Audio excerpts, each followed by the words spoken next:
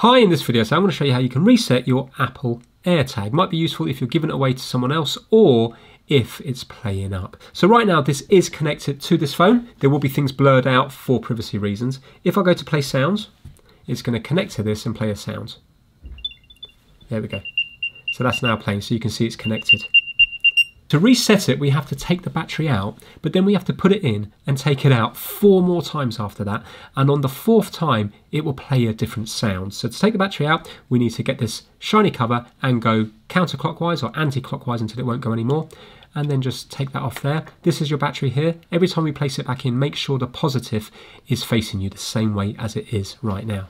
So we're gonna put it in like so. So that's one time. We're going to do it four more times, but that's the sound it makes.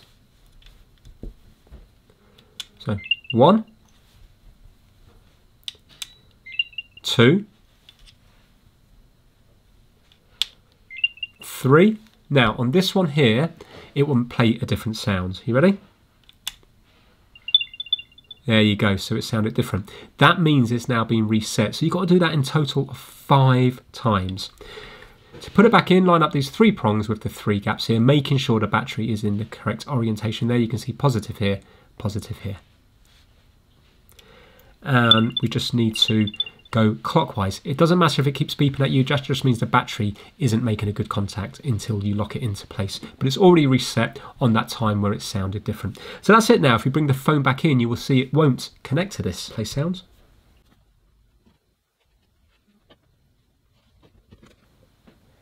And there you go, it says AirTag not reachable. So this is the same as a brand new AirTag now. So it would have to be reconnected to this phone again or someone else's phone.